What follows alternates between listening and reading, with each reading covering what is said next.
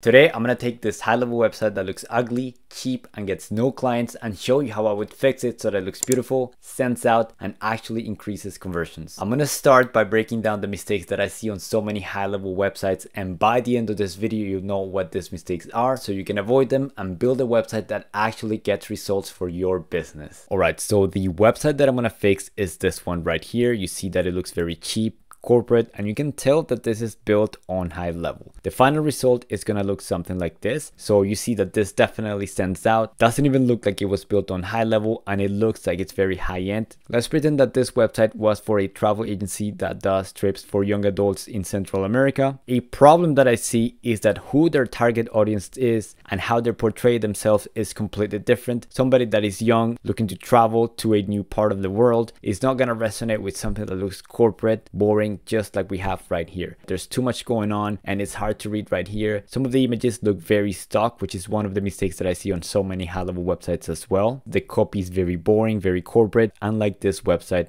right here. Throughout this whole video, I'm going to share five keys to a better website. And the first key is to focus on having a strong hero sections. And I'm going to touch on this in just a sec. But for now, we're going to go back to HighLevel right here and start building. So the first thing that I see is that this button is very annoying. So I'm going to get rid of this right here, clear any animations that it has. Now that I got rid of that effect, I'm going to start by removing the background image right here. It's a little bit corporate, distracting, and doesn't really add to the experience and replace it with something better. So let's get rid of this right here. Now let's pretend that the colors for this company were green and white. So in this case, what I'm going to do is take this back to white just like this. And we have like a weird overlay, which we were using before. I'm gonna get rid of this right here. And now the next thing that I'm gonna do is, well, of course, this is hard to read. So let me just go ahead and fix it to a black for now. This still looks very corporate, but something that is catching my attention is that this navbar is a little bit distracting. I want my button to be the thing that stands out the most. And in this case, this green is gonna draw in my attention to that section. So what I'm gonna do is make it so that this would be transparent just like this. And of course, this is hard to know that this is a button. So what I would do is go to advanced and then I would add a full border. Make sure that the border is of the color of the company, which in this case is this one just like this. And now I have a green border, but a black text. So I wanna make sure that everything is consistent. So for the button, I'm also gonna change the text to make sure that it is green just like this. Something that I see on so many high level websites is that they add a logo that has like a square background around it. It looks very cheap. So what I would do is make sure that the logos that I do add on the site don't have any backgrounds around it. So in this case, I've already added my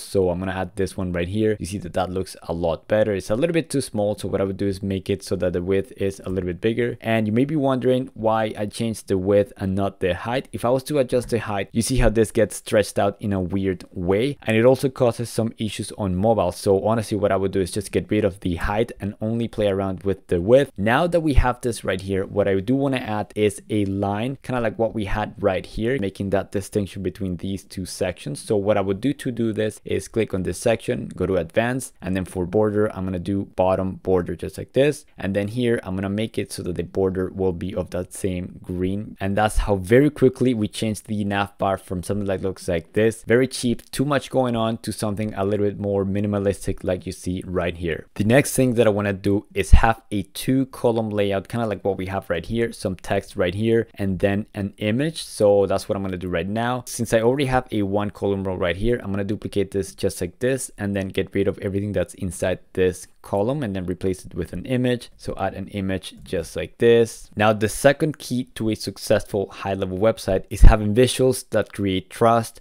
and help the prospect book. So in the previous case, we had something that was very generic, just like this. Didn't really transmit a feeling to the specific target that I'm gonna go after, which in this case was 18 to 35 year olds who feel stuck and want more out of life. This honestly in the background kind of subconsciously seems like a older couple. So it's not even gonna resonate with our target audience. What I would do is add an image that has that feeling or encapsulates those people. So in this case, this couple right here seems like it's a little bit of a younger audience. The image has too much going on and because this is the hero section, I want to keep it simple. So instead, what I would do is add an image just like this. I decided to add this image to the hero section because they're smiling, it's very inviting and subconsciously I'm getting the vibes that they are inviting me to be part of the adventures and if an 18 to 35 year old came across this website having visuals that speak directly to them with people that look just like them and kind of like the same trends, the same lifestyle would make it so that it's more appealing and they feel connected to actually book with this business. In your case, if you're a landscaper, you want to make sure that the images that you have are relevant to the type of customers that you're trying to go after. Something else that I'm going to do right now is I want to make it so that this will be a full width section. I hear a lot of people say that the HighLevel website layouts is always like centered in the middle. So I'm going to show you how to achieve something like this. The first thing that I would do is here on HighLevel, I want to make sure that I click on this green section right here and I select allow rows to take the entire width. Now you see that this is taking more of the entire section, but there's still some margins. So what I'm going to do is get rid of all of these margins right here. To do this, first of all, is I'm going to click on this green section right here and any padding that I see around it, I'm going to make it so that it's zero, just like this. I'm going to do the same for the blue section right here. And you see that there's padding all around it. So I'm going to go ahead and remove everything just like this. And now you see how I'm starting to get that same design like I had on the previous side. The one problem though is that here is very tight. So for this side, because it's not the image, it's the actual text, we want to make sure that we leave space for readability purposes. So in this case, what I'm going to do is click this section right here and add a little bit more padding into the sides, maybe like 60 on this side and then 60 on this side, just like this. This is what we have right now, starting to look better, but something that I want you to take a look into account and it's the third key for a successful website is making sure that on your site, when you offer your products or your services, you focus on the dream outcome and not on the features or technicalities of the service. So in this case, this says comprehensive travel solutions for Central America. Nobody cares. A better way to portray our travel agency or travel experience services would be something like this adventure, connection, experiences, and so on. We call out exactly who this is for. Unique trips in Central America for 18 to 35 year olds who feel stuck and want more out of life. Meet amazing people and share incredible adventures. So, this tells us exactly who this is for, what problem we're trying to solve, and how we solve this problem, as opposed to having something very generic, very corporate that doesn't resonate or speak with our target audience. So, what I'm gonna do is copy this right here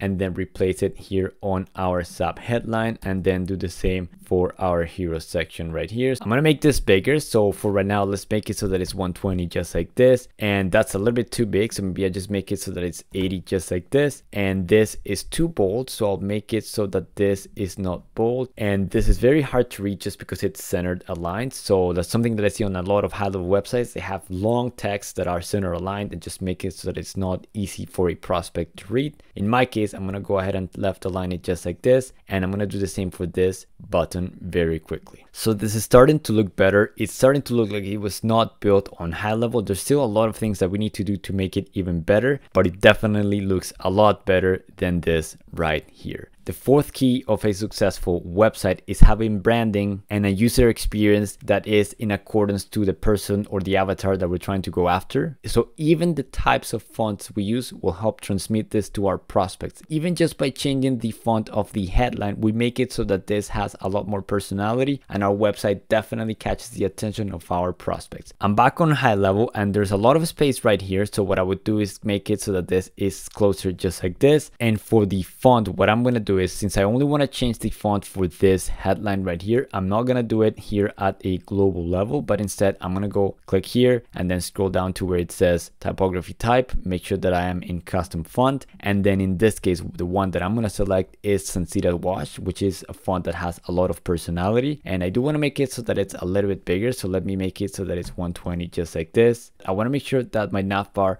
aligns with my hero right here. So in this case, it is not. So that's making it look a little bit disorganized and not like fully centered. So First of all, what I'm going to do is click on this section and make sure that I allow rows to take the entire width. And now that I've done that, I want to make sure that I add some padding because if this was to be zero, it would be too close. So in my case, I'm going to keep it so that it's 60 so that it lines up very nicely right here. A common mistake that I see on some HighLevel websites is that the navbar is very thick. I see some navbars that look just like this. So if you're noticing that in your website, this is taking too much real estate of your screen, what you can do is of course, make sure that you minimize this. So in my case, I would keep it so that it's very, very thin and it just looks like more professional and just more beautiful overall. The last key of a successful website is making sure that it is mobile optimized because as you know, about 50% of traffic that lands on sites is coming from mobile. So in this case, you see that this is not optimized at all. What you could do and the beauty of HighLevel is that you can adjust the font sizes for both desktop and mobile. So for mobile, 100 pixels is very, very big. So in this case, I would make it so that it's say 60 and that looks a lot better. The last thing that I would do is you want to make sure that you give at least 10 or 20 pixels here on the sides. If not, there's not going to be like enough margin and it's going to be hard for a prospect to read. So in my case, I'm going to add instead of 10 pixels, I'm going to do 20 on the sides just like this, just so that when I look at it on mobile, it looks a little bit better as well. The last thing that you may be wondering is, Ricco, how did you add this cool effect right here? In the hero section, I wanted to make sure that this was a little bit dynamic and overall enhance the user experience. If you want to add this to your website as well, if you already have my Notion doc,